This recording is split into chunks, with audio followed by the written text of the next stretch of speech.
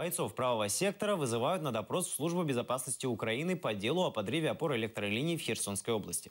Об этом телеканалу АТР сообщил командир 7-го батальона добровольческого украинского корпуса «Правый сектор» Иван Мирный. С ним связались по телефону и задали несколько вопросов. По словам Ивана, сейчас члены организации фигурируют в деле как свидетели. И после вручения повесток все готовы явиться в Главное управление СБУ.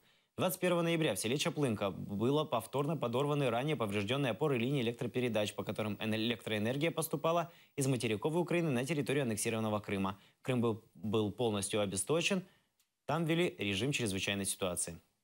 Зараз обдзвонюються члени добровольчого корпусу, хто був на блокаді Крима, хто був саме присутній при подіях, коли опори впали. Запитували про те, чи можемо ми дати свідчення.